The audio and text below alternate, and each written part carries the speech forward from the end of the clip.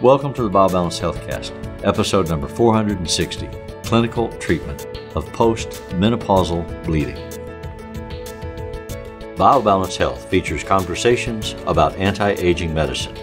Your hosts are Dr. Kathy Maupin, Medical Director of BioBalance Health, and a leading expert in treating symptoms of aging, and Brett Newcomb, a licensed professional counselor.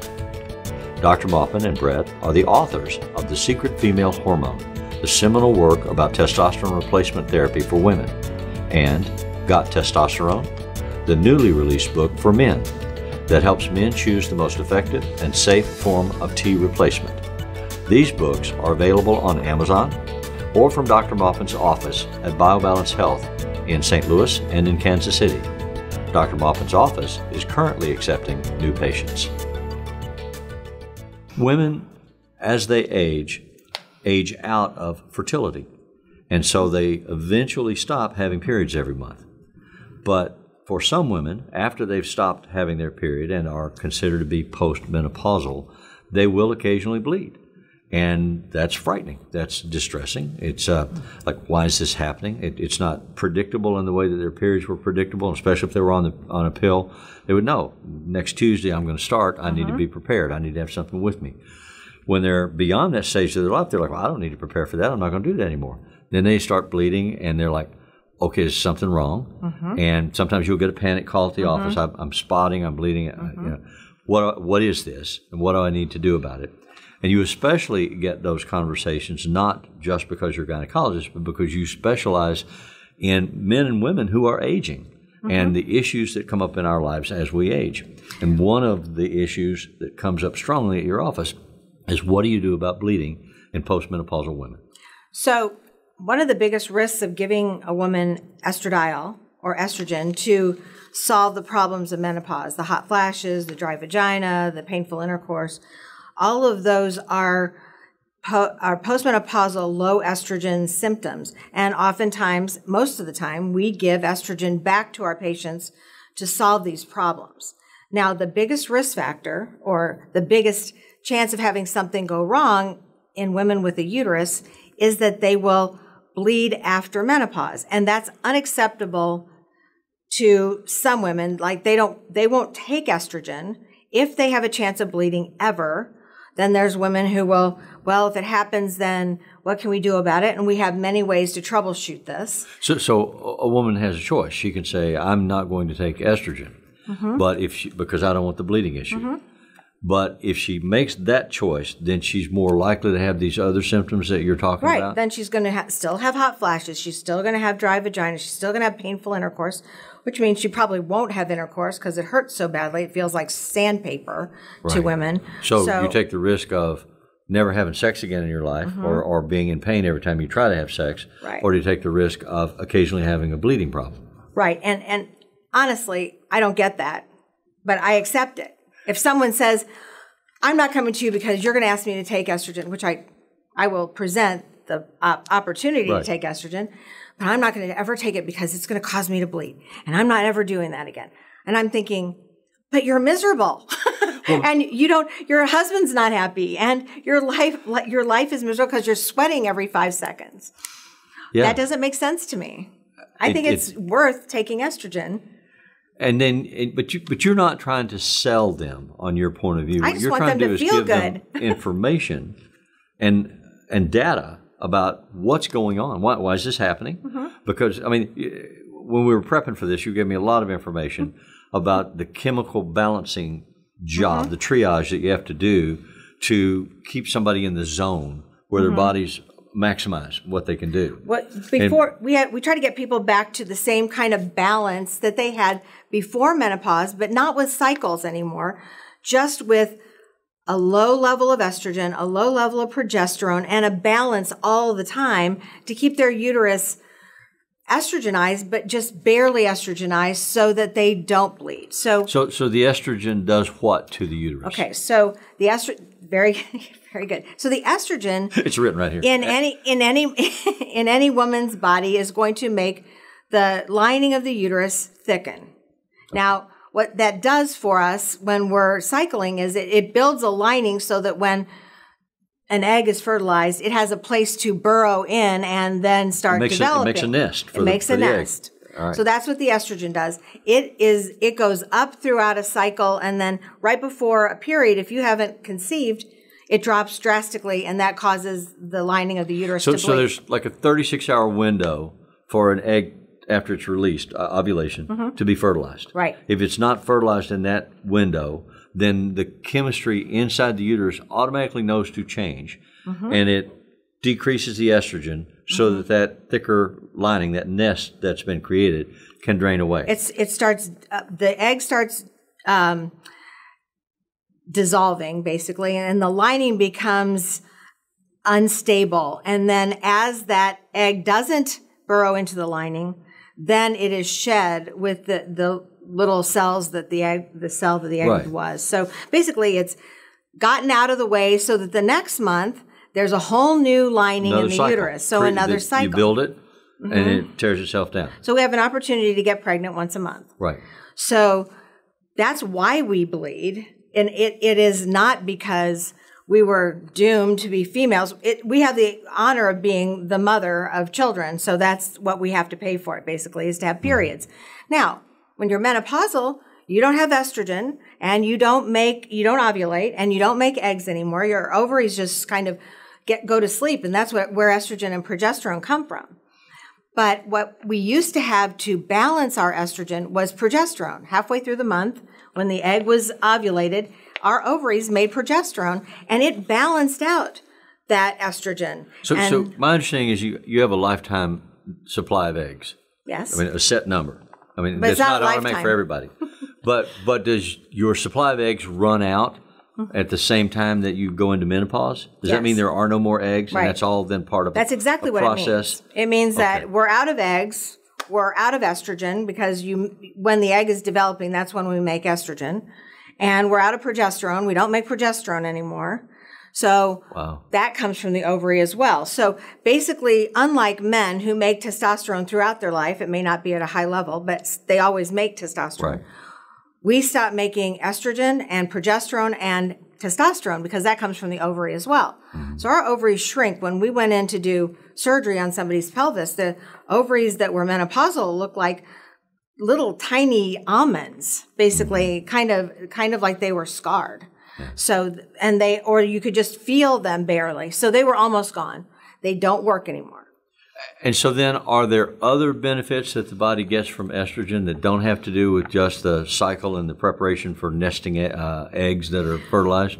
It uh, besides the job it does for the uterus and for making babies, it gives us um, a wet vagina so that we can have intercourse, and it thickens the lining of the vagina so that it, it doesn't. It's not thin and irritated every time there's friction, like with intercourse. It thickens the bladder so that there's no irritation uh, of the bladder. So many people after menopause, all of a sudden they can't hold their urine. It, it just kind of squirts out because they have no estrogen. When they cough or they laugh or something. Even when they don't, when they're just when they're just sitting here, their uterus will start will will start Spasm. being irritable because there's no estrogen. Now, both estrogen and testosterone do this job. One alone does it somewhat, but two of them together make it back to your normal So we're back self. to the chemistry set thing. You got to Right. get the right balance. You have to have and the it's right different for each woman based on her weight, her size, her age, her genetics. Right. Everybody has a kind of a perfect estrogen level. Uh-huh. When we give pellets and we check somebody's estrogen level, and we want to check it to see where she's happiest, where everything's working, where her skin is her skin is soft. It also does that, or it also stimulates breast development or breast fullness, so that women's breasts look more young when they have estrogen, and and more firm. That's just part of what estrogen does, but we don't want to give them so much that it's going to cause their uterus to build a really thick lining and set my patient up for bleeding. Right. But some people feel good with a high high level of estrogen and some feel good with a low level of estrogen. So what we do is the magic hormone is progesterone. We match the progesterone to the estrogen level. If a patient loves estrogen, she feels best when it's at her blood levels at 200, then I'm going to give that patient a lot of progesterone to balance it so it doesn't get too thick. Progesterone lowers the lining of the uterus, estrogen raises it. So, So if together, you keep the lining the right thickness, then there's not going to be a bleeding problem. right, Because it's not going to slew off and tear away. right. But but the reason doctors worry about the lining of the uterus and bleeding is interesting. Uh, we always worry about the worst thing that can happen, and that is there's a nine percent now, nine people out of a hundred Right. who bleed postmenopausally will have uterine cancer.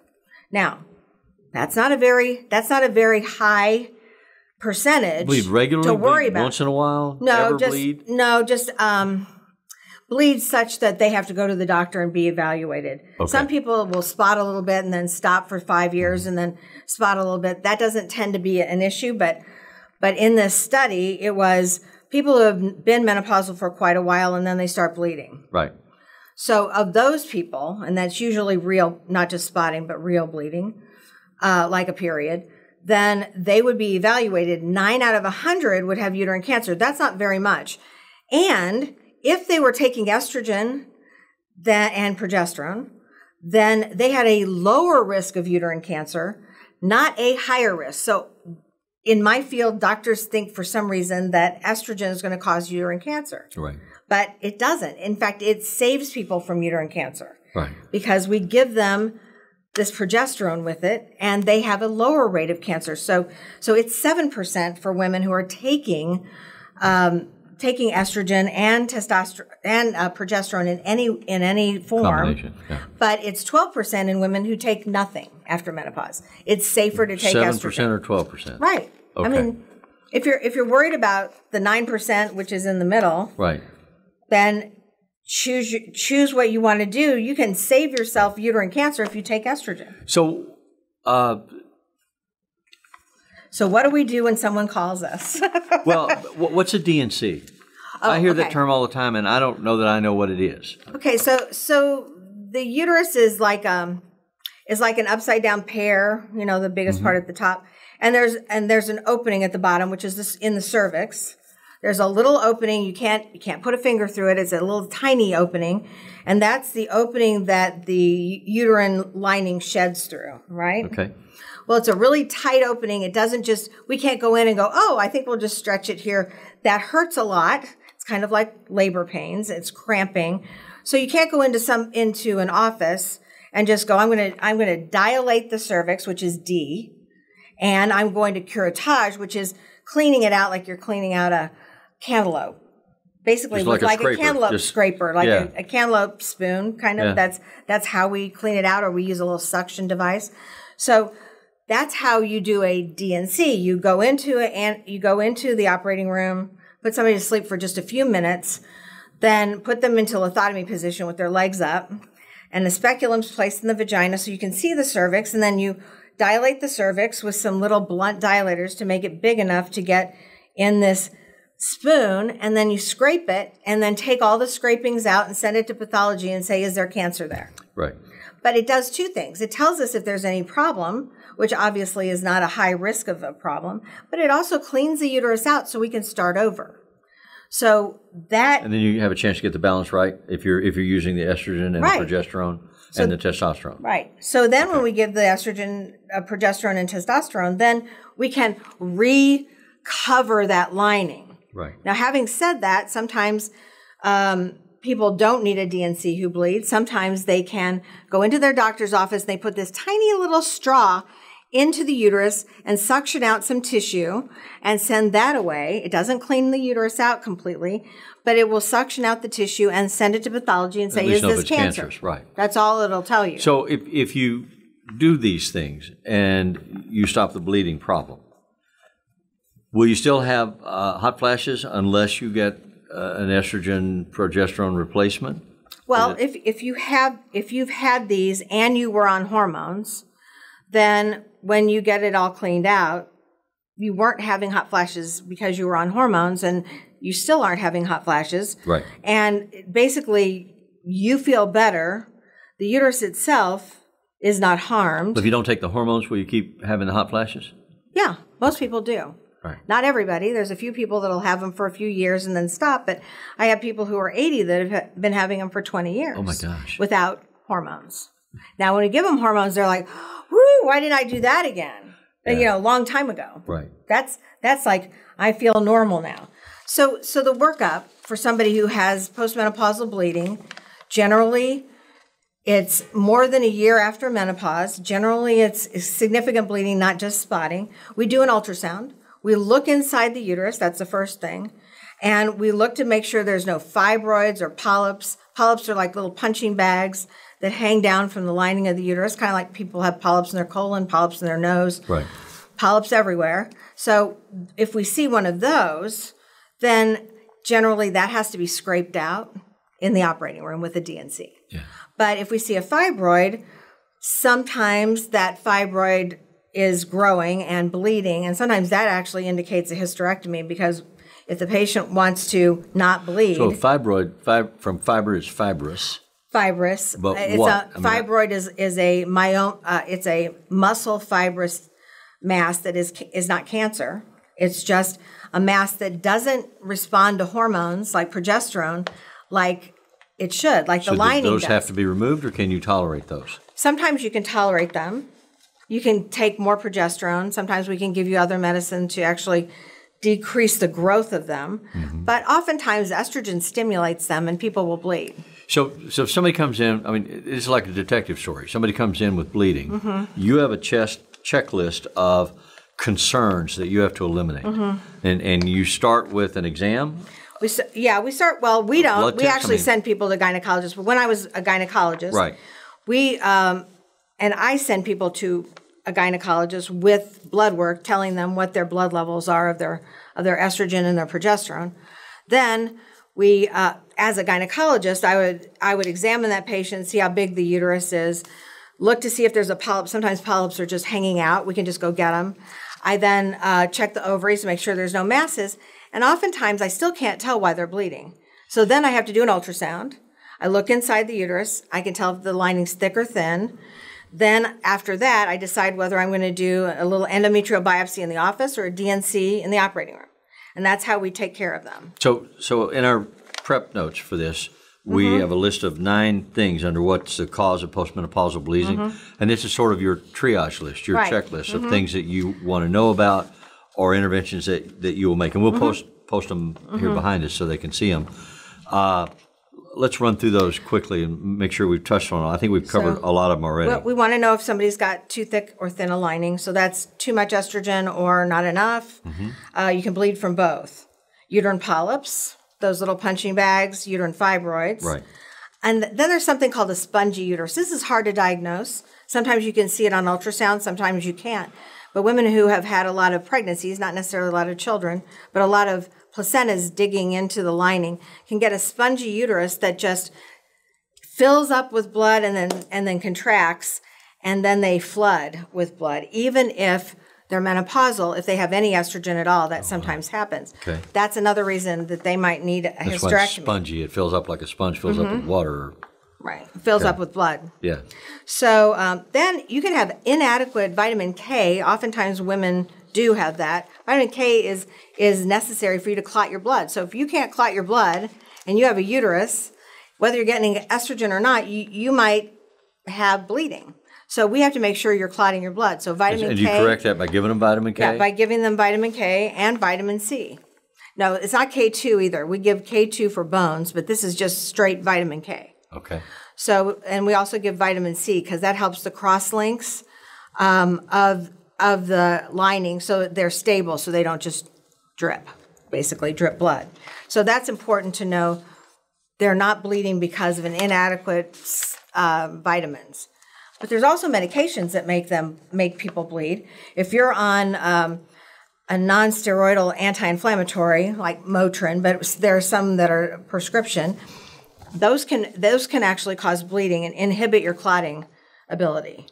Or warfarin, Warfarin is if you're worried about blood clots and heart attacks and right. strokes. Sometimes we we place people or other doctors place people on warfarin, and we need to know about that or any kind of uh, treatment for um, blood clots or um, even even superficial blood clots can cause your uterus to bleed because you don't clot your blood. I had an elderly professor when I was in college that everybody was concerned about it. He went to the hospital for bleeding, and they were concerned that he had cancer and he was going to die. Mm-hmm. It turned out he was eating aspirin like candy. And it was rupturing his, his stomach blood Uh-huh. vessels, and he was bleeding as a result of that. That I mean- yeah, you can't. You you should always read the directions and not go over it.